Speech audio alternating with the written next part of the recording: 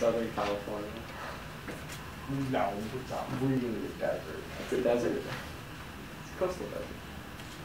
Baja is actually Texas.